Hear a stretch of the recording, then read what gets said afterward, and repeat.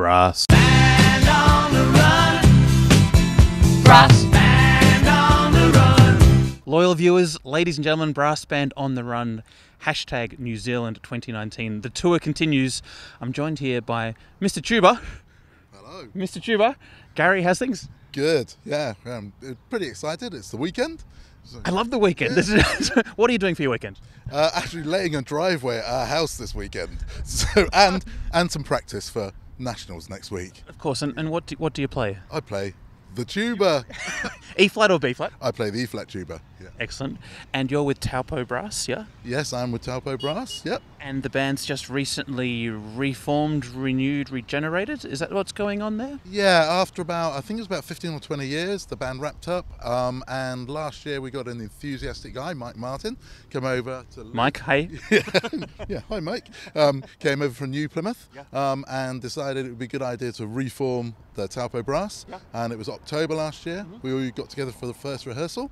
Um, we worked hard and actually did a, a, a our first play out, first gig for Christmas at the Salvation Army Centre in Taupo and got quite a nice audience. And obviously it was seasonal as well. So uh, yeah, it's good. Awesome. And how was it difficult to reform a band that was existing for a while, then bringing it back? Was that tricky, or was it everything kind of in place with the right people behind it to get it going again?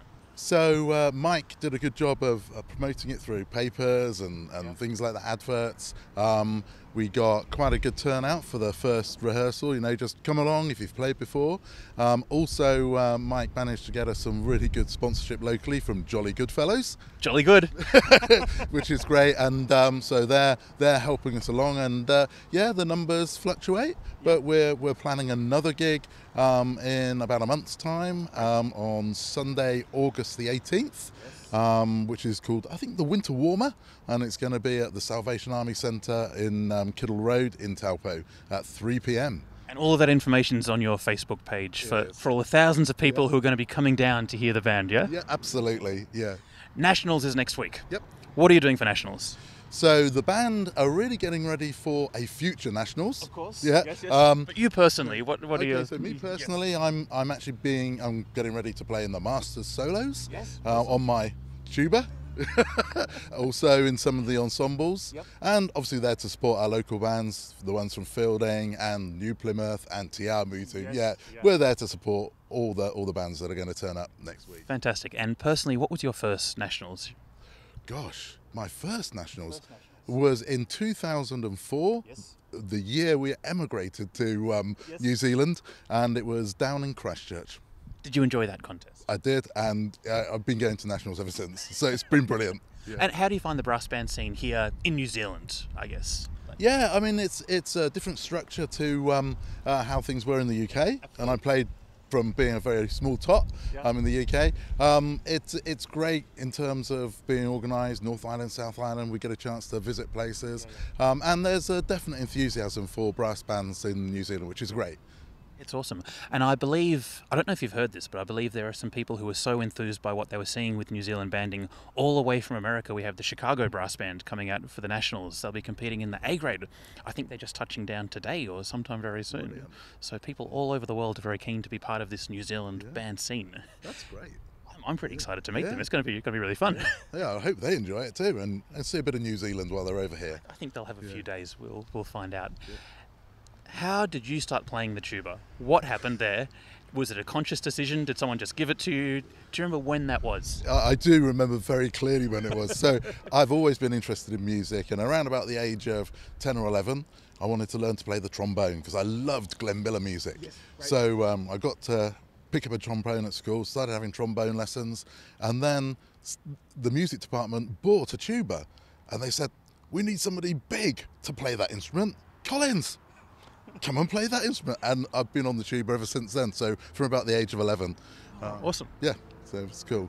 And do you remember your first ever brass band rehearsal that you went along to? Yeah, pretty much. It was back in the UK, um, again around about the age of 11, um, and it was with the City of Oxford brass band then. Um, and there was a, a very mature gentleman who led the learners, and we went along, and he taught us all about. Very mature. yeah, very mature. Yeah, I was just trying to be politically correct. yeah, um, and he taught us the basics about minims and crotchets and rests, and, and it really went from there. Yeah, fantastic. And Taupo Brass, looking for new members still? Absolutely, yeah. We're keen to see anybody who's either played before, would like to play. Um, we're keen to think about giving lessons if you're local to um, Taupo. Um, and no, we're a nice group, a social group.